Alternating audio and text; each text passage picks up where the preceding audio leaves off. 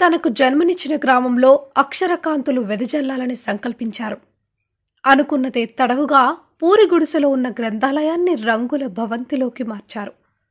తీరొక్క పుస్తకాలను గ్రామస్తులకు అందుబాటులో ఉంచి తన ఊరిలో విజ్ఞాన వ్యాప్తికి తోడ్పడుతున్నారు ఉమ్మడి ఆదిలాబాద్ జిల్లా ఎమ్మెల్సీ పురాణం సతీష్ కుమార్. మంచిర్యాల జిల్లాలోని కోటపల్లి మండల కేంద్రం ఎమ్మెల్సీ పురాణం సతీష్ కుమార్ స్వగ్రామం. ఇక్కడ గ్రంథాలయం ఉంది. కానీ అది పూరి గుడిసెలో కొనసాగేది. ఏవో కొన్ని పేపర్లు పుస్తకాలతో ఉంది అంటే ఉంది అన్నట్లుగానే లైబ్రరీ నడిచేది. అయితే తనకు జన్మనిచ్చిన గ్రామానికి తనవంతుగా ఏదైనా చేయాలని తప్పించిన పురాణం సతీష్ కుమార్ దృష్టి ఈ లైబ్రరీపై పడింది.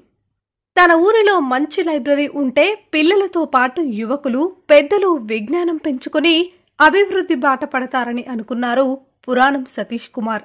ఇందుకోసం ఇరవై ఐదు లక్షల రూపాయలు వెచ్చించి తన తాత కీర్తిశేషులు పురాణం రామకృష్ణయ్య పురాణం శ్యామ్ సుందర్ స్మారకార్థం గ్రంథాలయం కోసం అందమైన భవనాన్ని నిర్మించారు.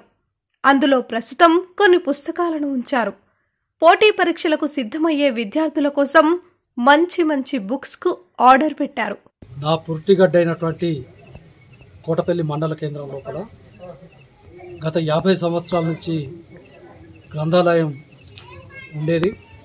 మరి ఈ కోటపల్లి ప్రజలకు కూడా రీడింగ్ కల్చర్ అన్నది ఉన్న సందర్భం లోపల ఆ గ్రంథాలయం పూర్తిగా శిథిలావస్థకు చేరుకున్నటువంటి సందర్భం లోపల మరి ఈ పుట్టిగడ్డ లోపల జన్మించినటువంటి నేను నేను ఒక శాసన మండలి సభ్యునిగా చట్టసభ లోపల అడుగుపెట్టినటువంటి సందర్భం లోపల మరి ఈ గడ్డ రుణం తీర్చుకోవాలని చెప్పి మరి ఇక్కడ విద్యార్థులకు మరి చదువుకునే సదుపాయం కల్పించాలన్న సదుద్దేశం కొద్దీ ఇవాళ మోడల్ స్కూల్ కావచ్చు కస్తూర్బా స్కూల్ కావచ్చు ఆశ్రమ పాఠశాల కావచ్చు అదేవిధంగా మరి వాళ్ళ సెంట్రల్ లైటింగ్ సిస్టమ్ కావచ్చు డబుల్ లేన్ రోడ్ కావచ్చు మరి వంద బెడ్రూమ్ల ఇల్లు కావచ్చు డబుల్ బెడ్రూమ్ ఇల్లు కావచ్చు.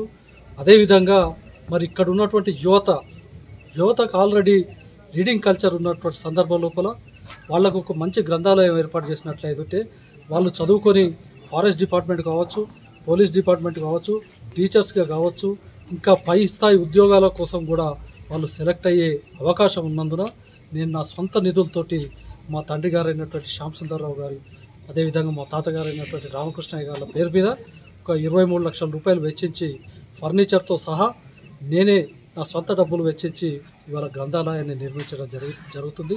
నాకు తృప్తి ఏంటంటే ఇక్కడ చదువుకున్నటువంటి విద్యార్థులలో యువకులలో కనీసం నోటిఫికేషన్ వచ్చిన తర్వాత ఒక పది మందికి ఉద్యోగాలు వచ్చినా కూడా పది ఇంటూ ఐదు ఒక యాభై కుటుంబాలు బాగుపడతాయన్న ఒక లక్ష్యంతో ఇవాళ గ్రంథాలయాన్ని ఏర్పాటు చేసుకోవడం జరిగింది.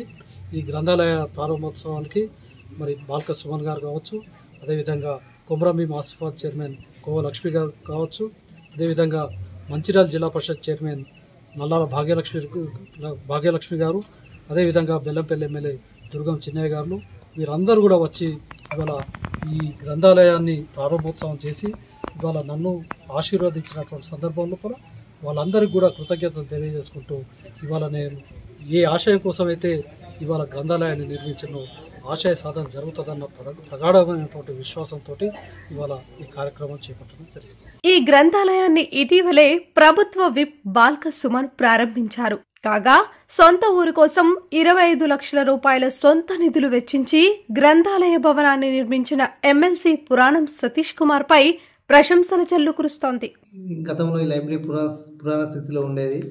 దీన్ని దృష్టిలో ఉంచుకొని స్థా- సతీష్ ఎమ్మెల్సీ గారు తన సొంత నిధులతోటి డబ్బులు వెచ్చించి తండ్రి వాళ్ళ తాతగారు తండ్రి గారి పేరు మీద లైబ్రరీ నిర్మించడం జరిగింది. ఇది అందరికీ ఉపయోగపడుతుంది. అప్పుడు హై స్కూల్ మాత్రం ఒకటే ఉండేది. డైలీ యాభై మంది వస్తుండేది. వాళ్ళ తాతగారు కూడా డైలీ పేపర్ చదువుతూ ఇక వచ్చి యువతను కానీ పెద్దలను కానీ ఇక వచ్చే స్కూల్ పిల్లలకు కూడా ప్రోత్సాహంగా ఉండేది. దాన్ని దృష్టిలో ఉంచుకొని కట్టినందుకు మాకు సంతోషంగా ఉంది. ఇక్కడ model school high school ashram school KGVP ఈ విద్యార్థులకు ఉపయోగపడుతుంది. ఇక్కడ చదువుకున్న వారు కూడా ఉద్యోగ ఉద్యోగాలు సంపాదించడం జరిగింది. ఇది అందరికీ శుభసూచకం. ఈ గ్రంథాలయం కల్పించినందుకు ఎమ్మెల్సీ గారికి కృతజ్ఞత తెలుపుతున్నాం. ఈ వీడియో కనుక మీకు నచ్చినట్లయితే లైక్ చేయండి షేర్ చేయండి సబ్స్క్రైబ్ చేయండి పక్కనే ఉన్న బెల్ ఐకాన్ కొట్టండి.